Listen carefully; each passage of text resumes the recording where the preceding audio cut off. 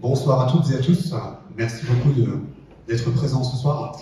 Alors, on a vu que finalement l'expérience client est extrêmement importante, aussi bien dans le canal du physique, mais également dans le canal du web, le canal digital. C'est justement ce point qu'on va voir ce soir aujourd'hui avec François. Bonsoir François. Bonsoir. Donc euh, François, vous êtes euh, directeur général des enseignes Office Easy. Tout à fait. Est-ce que vous pouvez présenter justement l'activité d'Office Easy Bien sûr, en quelques mots, Easy est un site e-commerce B2B euh, placé sur deux niches qui sont les outils de communication d'entreprise, hors, micro-informatique.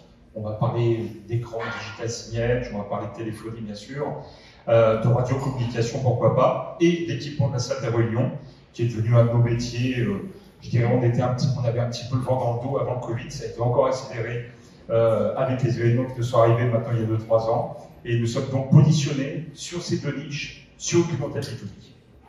Très bien, merci François. Du coup, Julien, bonsoir.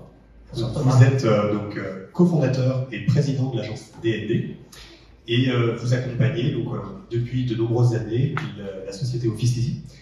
Qu'est-ce qui justement a amené cette, cette relation, cette collaboration depuis de nombreuses années? Juste en deux mots, donc effectivement j'ai créé l'agence en 2004, donc on est spécialisé dans la création de plateformes digitales et e-commerce.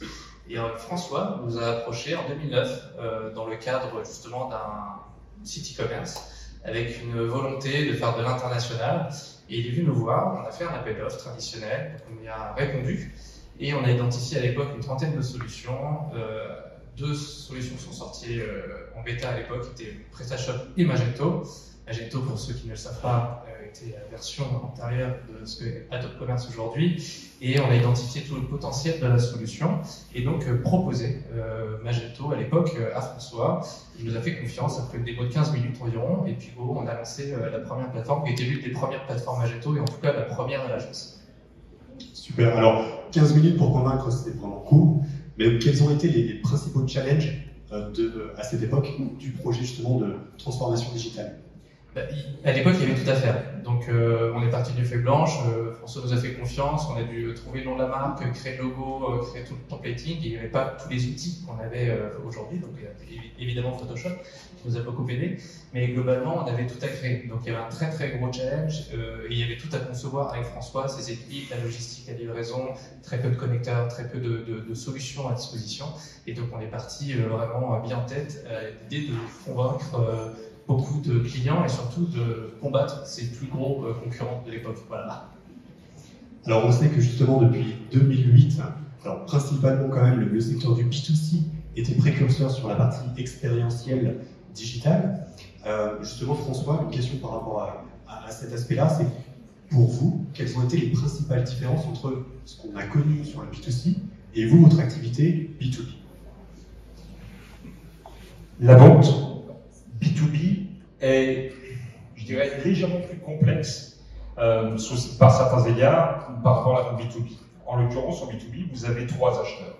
Vous avez bien souvent un prescripteur, un utilisateur et un payeur. Ce qui veut dire trois contacts au sein d'une même société pour un seul et même produit acheté. Ça complexifie le parcours client. On a dû l'adapter, que ce soit sur le front pour le prescripteur, sur euh, l'interface euh, client euh, pour le payeur qui a besoin parfois de, de, de, de savoir à sur quelle entité il va valider tel ou tel paiement. Et puis, bien entendu, euh, pour l'acheteur final, sur lequel on a des produits qui n'enflamment pas les foules, hein, clairement, la visioconférence, si vous en parle aujourd'hui, je pense que je vais endormir pas mal de monde. Mais néanmoins, ce sont des produits sur lesquels le client post-achat a besoin d'un véritable support. Et là, la solution Adobe nous a permis effectivement de multiplier les portes d'entrée avec euh, du chat, de l'email, outils classiques, mais aussi nous avons mis en place une plateforme téléphonique, des livres blancs, des guides d'utilisation, des vidéos, de façon à prendre l'utilisateur par la main et à ce qu'il puisse le plus vite possible être opérationnel une fois qu'il a acquis son produit. Très bien, Laurent. On sait justement que un des piliers aussi euh, extrêmement importants sur le secteur du B2B, c'est la notoriété de la marque. Qu'est-ce que vous pouvez justement nous en dire? La, concernant la notoriété de la marque, on est un petit peu. C'est une problématique du même acabit que, ce que, ce que ce dont je viens de parler. On a euh, la volonté, effectivement, d'établir une notoriété, mais essentiellement chez de nos interlocuteurs, le prescripteur bien sûr, qui a besoin d'être certain qu'il s'adresse à la bonne société, avec le bon savoir-faire, les bons délais de livraison, les bons produits, les bons prix bien sûr, et puis on a euh, la notoriété auprès de l'utilisateur, et ça c'est la notoriété post-achat. Donc, euh, en l'occurrence, cette notoriété, on va la chercher au travers de la publication connue de livres blancs et autres, de effectivement un site internet extrêmement complet sur lequel on a du contenu bien plus étendu euh, que ce qu'on peut retrouver sur les sites fabricants parfois. Et puis, bien entendu, concernant l'acheteur, là, on va faire du nurturing, ce qui est classiquement utilisé. On va le contacter à 15 jours, 2 mois, 3 mois, 6 mois après euh, son acquisition, voir si effectivement les choses se passent bien pour lui, tout a été correctement installé, si on peut apporter du support. Et c'est là où effectivement, on est sur une vente post, on est sur une post-vente à, à très forte valeur ajoutée. D'accord, donc finalement, on est quand même aussi là sur un, aspect important, c'est la satisfaction qui reste au cœur de cette approche et cette expérience digitale. Clairement, euh, si on doit se positionner d'une façon très simple, une photo, un prix, un délai de livraison, il y a une boîte qui s'appelle, euh, qui commence par A, qui termine par N, que tout le monde connaît ici et qui le fera toujours mieux que nous. On a donc euh, dû aller chercher des points forts, des éléments pour se différencier, et on va se situer quelque part entre euh, le besoin extrêmement, fort avec une valeur ajoutée très forte, et là, ça va être des commerçants qui vont se déplacer sur site, au sein des, entreprises mêmes. On va avoir le besoin basique. Ça, en l'occurrence, on laisse ce marché euh, à de gros faiseurs. Il y a Amazon, mais boulangers aussi. Ce sont, euh, ils ont une, clientèle B2B, bien entendu. Nous, on va se situer au milieu. Et on va effectivement devoir multiplier les portes d'entrée pour notre clientèle et faire en sorte de leur apporter un réel support après-vente. Et donc justement, après la vente, qu'est-ce que vous avez mis en place pour fidéliser vos clients? La fidélisation est relativement complexe puisque euh, certaines sociétés ont plusieurs stades de réunion et lorsqu'on les a toutes équipées, euh, il va falloir euh, aller chercher le client sur de nouveaux sujets. Et par exemple, c'est l'année peu à peu sur de nouvelles technologies en communiquant régulièrement avec lui. Il y a une problématique actuelle que tout le monde connaît, c'est le passage, enfin la prédominance de Microsoft Teams euh, qui prend pas un petit peu sur pas mal d'autres solutions qui étaient présentes sur le marché euh, il y a encore peu de temps. On parlait encore beaucoup de sous il y a deux ans, beaucoup moins maintenant. Eh bien, euh, toutes les sociétés ont besoin d'être accompagnées pour euh, passer euh, leur visioconférence via cet outil plutôt que via des outils qui étaient classiquement utilisés, ça peut être Google Meet, ça peut être autre chose. Et eh bien là, on va tenter de leur apporter du support en étant proactif et effectivement, euh, au travers des différents canaux qui nous sont euh, euh donnés euh, et de la, des data dont nous disposons et les exposés qui ont eu précédemment sur vos outils ont été extrêmement informatifs à ce sujet. Ça va être effectivement d'aller chercher le ou les clients qui euh, vont être potentiellement intéressés par telle ou telle solution. Donc là, on a deux types de data qui vont monter. Ce sont les data, bien entendu, du site web, les data, effectivement, de nos partenaires, réseaux sociaux ou autres, mais bon, euh, on ne peut pas dire qu'en B2B, le réseau Facebook soit vraiment extrêmement utile. Euh, on va plutôt, euh, là, à ce moment-là, euh, se, concentrer sur des data qui nous remontent parfois des produits, lorsque le client nous accorde d'accorder le pouvoir, bien sûr, sur le niveau d'utilisation, par exemple le taux d'occupation de salle de réunion. Ce sont des choses de ce type-là où on va pouvoir lui apporter un conseil et le prendre un petit peu par la main pour lui apporter une satisfaction totale au sein de ses équipes. Très bien, alors merci beaucoup pour ces explications. Julien, maintenant, est-ce que justement vous, vous avez d'autres exemples à partager sur les expériences clients digitales? François en parlait, la satisfaction client est extrêmement importante euh, pour nos e-commerçants. Euh, j'ai trois exemples en tête pour trois de nos clients. Euh, le premier sera la maison du chocolat. La maison du chocolat, pour ceux qui connaissent, hein, une belle maison de, chocolat, ont identifié à travers justement la connaissance de leurs clients, connaissance justement recueillie à travers la data, de vrais besoins, un vrai souci sur les problématiques écologiques. Ils ont euh, recueilli ça à travers euh, les boutiques, mais également à travers le site web, et identifié un vrai besoin, une vraie attention portée à l'écologie. Ils ont fait un premier travail, c'est toute la partie packaging. Donc ils ont éco-conçu un grand nombre de leurs produits pour limiter au maximum l'impact écologique. Après, ils se sont dit qu'est-ce qu'on peut faire de plus au niveau du digital?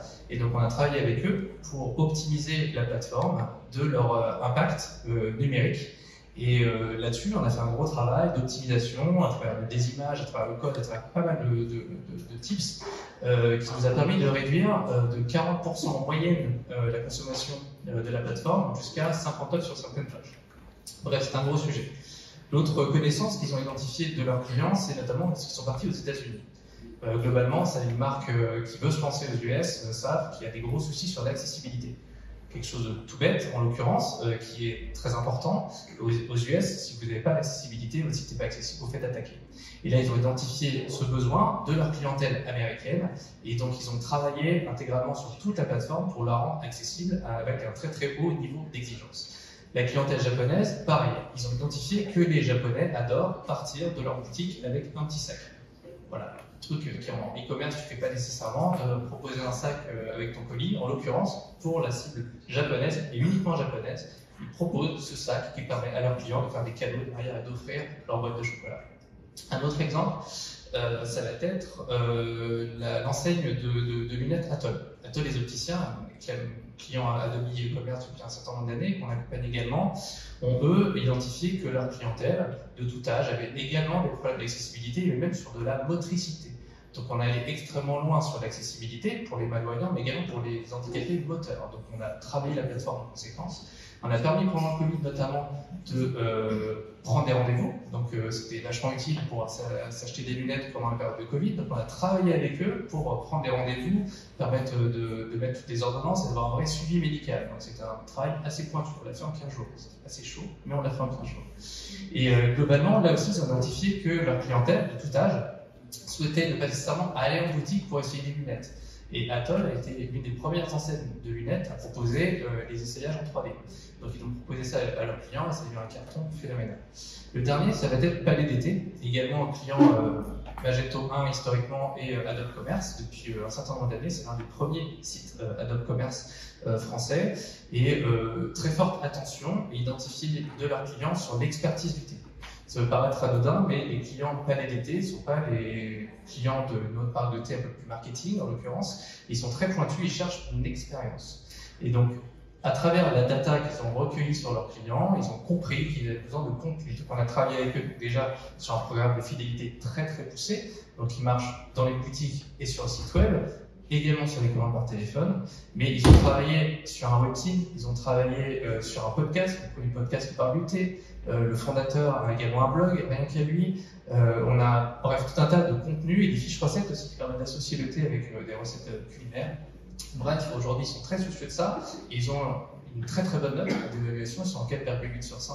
Et c'est quelque chose qui, justement, est un enjeu extrêmement fort pour Palais Très bien, merci beaucoup Julien. Alors, on a vu que finalement, en fonction du secteur d'activité, en fonction des besoins ou du, euh, domaine de distribution, on a à chaque fois un parcours, une expérience complètement personnalisée et personnalisable.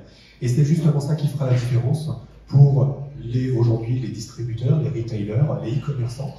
Et donc justement, pour conclure un petit peu nos différents exemples et différents échanges, François, est-ce que s'il y avait un élément sur lequel euh, vos pairs souhaitant se lancer sur la partie e-commerce B2B doivent faire extrêmement attention. Quel serait cet élément? Clairement, l'élément que je mettrais plus en avant concernant B2B, c'est de multiplier les possibilités de porte d'entrée. Le site e-commerce est bien entendu le portail principal qui va permettre de capter le client, mais ensuite, les souhaits euh, du clientèle B2B sont extrêmement divers et variés. Demande de devis, appel téléphonique de renseignement, connaître la disponibilité immédiate, le stock total, les délais de livraison, la capacité de personnalisation de tel ou tel produit. Il faut donc avoir plusieurs portes d'entrée, des portes d'entrée classiques. Euh, on parlait du chat euh, tout à l'heure, mais ça peut être, pour des produits à faible valeur ajoutée, ça va être des chatbots. Ensuite, de vrais humains derrière. Euh, on va avoir bien entendu euh, l'email, on va avoir euh, un service commercial expert, et on ne parle pas d'un plateau de, de, de téléacteurs, mais véritablement des personnes à valeur ajoutée qui vont pouvoir répondre à des questions techniques avant-vente et aussi après-vente, vous l'avez compris. Cette multiplication des portes d'entrée, pour nos clients, c'est une attente que nous avons identifiée auprès de la clientèle B2B, quelle que soit la taille de l'entreprise. Euh, ça leur permet véritablement d'être rassurés quant à la pérennité euh, euh, des services qu'on va pouvoir leur apporter. Et ça leur permet aussi de nous challenger, d'aller prendre quelques renseignements avant-vente et de se dire, OK, les réponses ont été pertinentes. Après, une fois que j'aurai mon produit entre les mains, ils sauront m'épauler sans pour autant déplacer un sur Très bien, merci beaucoup François. Julien, justement, un dernier mot, dernier conseil à partager Déjà, très bel événement, merci beaucoup pour l'invitation, c'était canon. Non, euh, blague à part, en fait, euh, le point que je retiens pour les clients, c'est euh, la data. avant de vous lancer en e-commerce, mais surtout avant de vous développer en e-commerce, c'est de recueillir cette data, de bien l'analyser, de bien connaître vos clients. Et là, c'est vrai que Hélène en a parlé, Dimitri en a parlé, Olivier en a parlé, et c'est quelque chose d'extrêmement important. c'est vrai qu'aujourd'hui, nous, on propose euh, évidemment les solutions Adobe et on y croit énormément depuis toujours. Donc Adobe Commerce dans un premier temps, mais également toute la suite des outils. C'est quelque chose aujourd'hui qui est extrêmement rassurant pour nos clients parce qu'ils savent demain, s'ils souhaitent évoluer, s'ils souhaitent aller plus loin dans la personnalisation et proposer le bon produit au bon moment au bon client, ben justement, grâce à cette data, ils vont pouvoir vraiment performer et c'est, je pense, la clé du succès des clients qu'on accompagne aujourd'hui. Très bien, merci beaucoup Julien. Merci pour